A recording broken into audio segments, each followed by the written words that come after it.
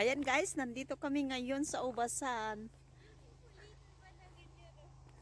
Second day ng aming pagha-harvest ng grapes. Hello, lovely people.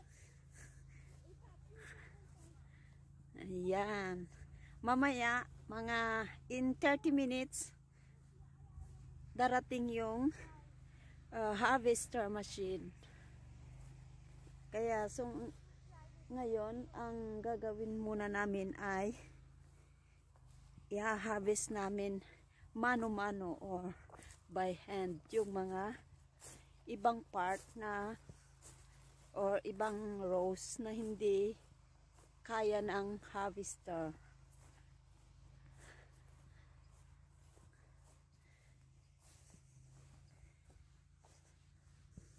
Ayan.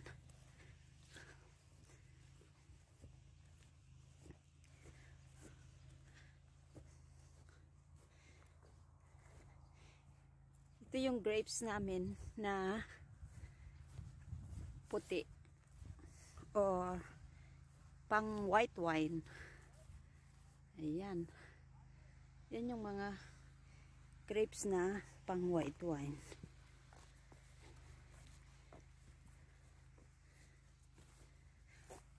Dalawang taon pa lang tong grapes namin na to. Yan guys yung ito dapat tinatanggal namin. Yan yung mga ganyan. Yan yung grapes na pang white wine.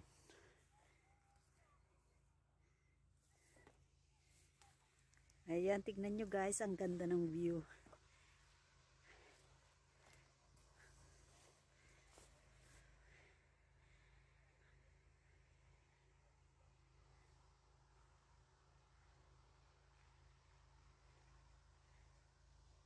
Ang aga pa. Ano lang, 7 7.30 yata.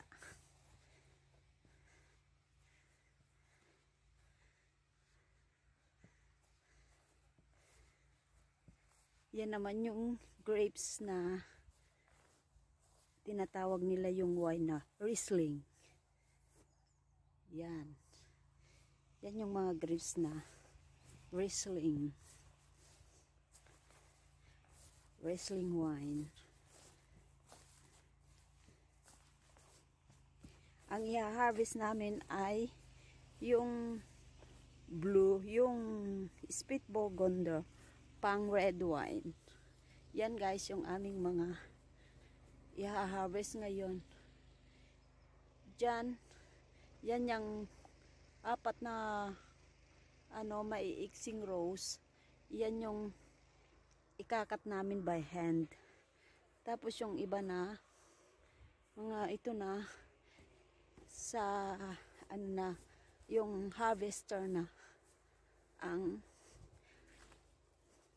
magha-harvest nito. Yan.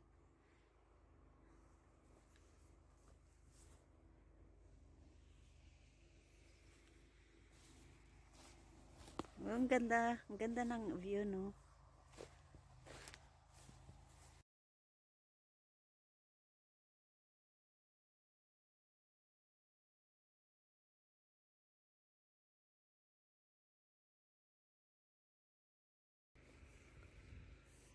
Yan yung mga i-harvest namin by harvester. Padadaanan niya ng harvester machine. Dito, ikakat namin by hand kasi kunti lang ang bunga nito. Inubos ng ano ng ibon. Eh kung harvester ang mag-harvest nito, lugi naman kami. Kaya, by hand na lang. Tignan nyo, inubos, oh. Kunti na lang ang bunga dyan.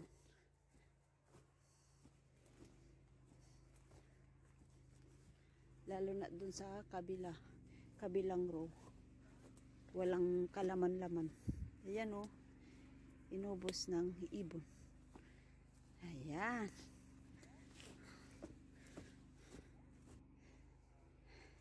Ayan, nandito na tayo sa tuktok. Ayan. Busy din sila sa kabila.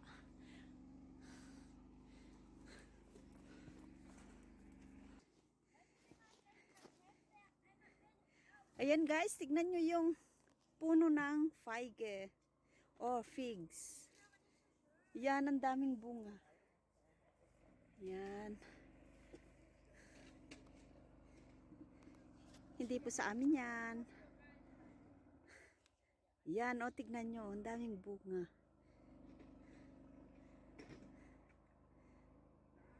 Yan. Yan po yung puno ng fig. Figs. Sa kapit bukid namin. Yan.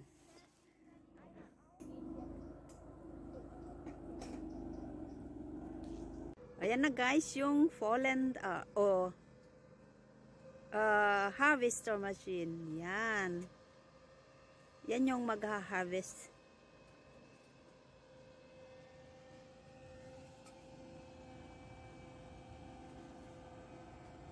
Hindi ako makalapit kasi nandito ako sa taas. Ayan, naka-zoom. Pero, di maganda yan.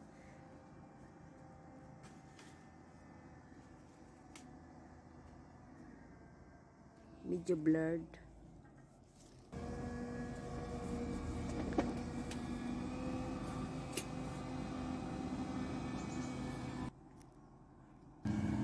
Ayan, punta tayo sa baba guys para uh, makita nyo kung paano sila mag-harvest. Paano nila uh, padaanan yung row.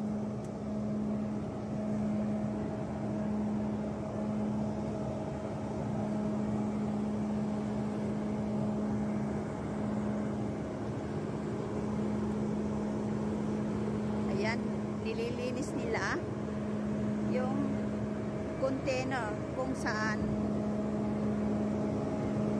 ilalagay yung grapes or saan mapupunta yung grapes.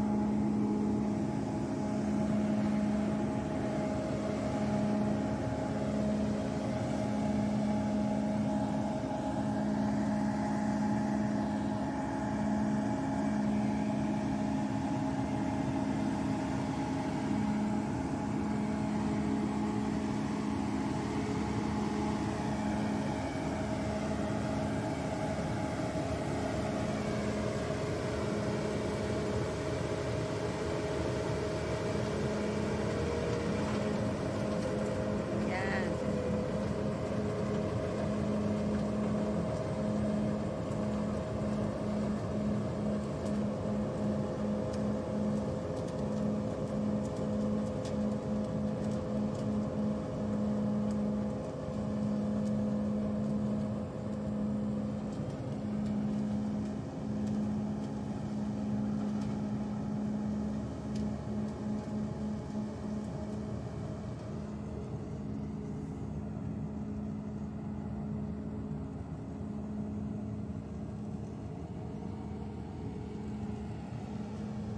Ayan, dito naman sila.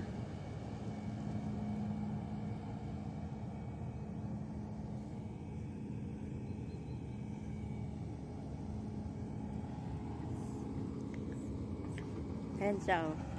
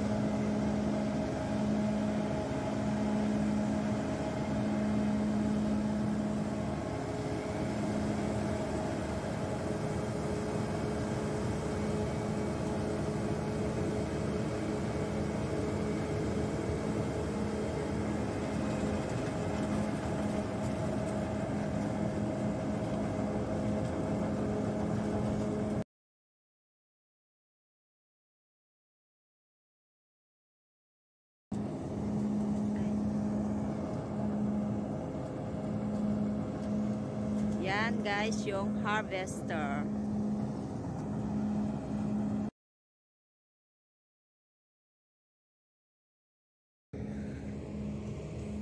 Ayan, tignan nyo ang kaganda ng mga ubasan dyan.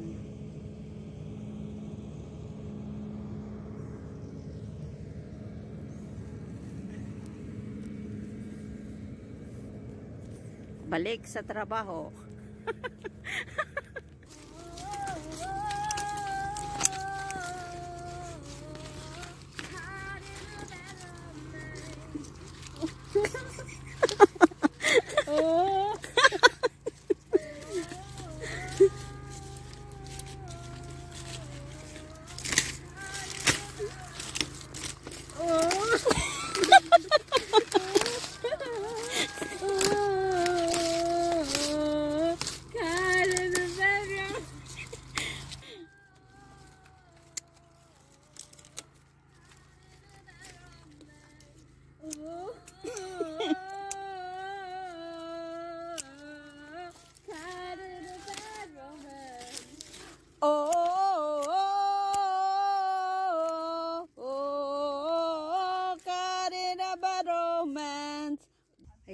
guys, tapos na lahat.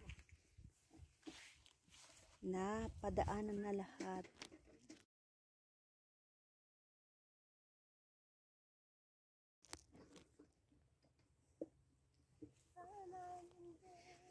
Yung grapes nandun sa baba medyo malayo kaya hindi na ako maka punta doon